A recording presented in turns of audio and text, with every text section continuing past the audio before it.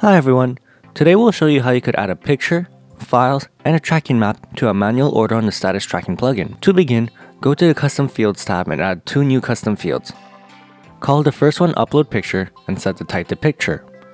If you scroll down, anything related to a customer order should be set to no. The field equivalent should be set to none, and the field for should be set to orders.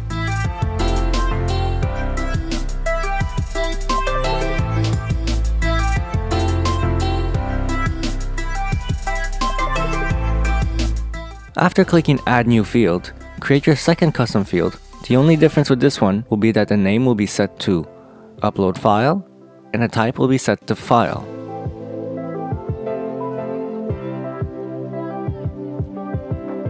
After you save your second custom field, click the Options tab.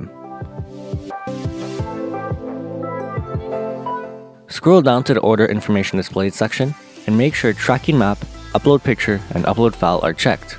Now click Save Changes.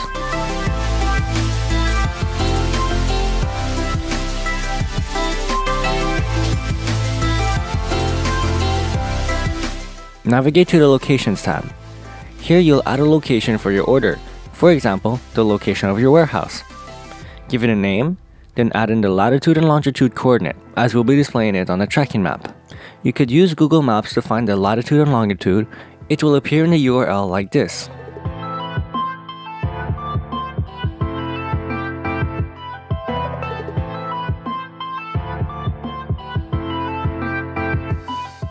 Once you've saved your location, click the Orders tab and add a new manual order.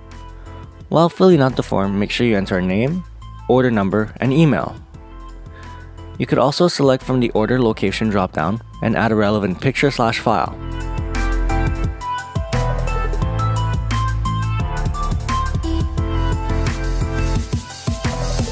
such as a picture of a product or a PDF product spec sheet.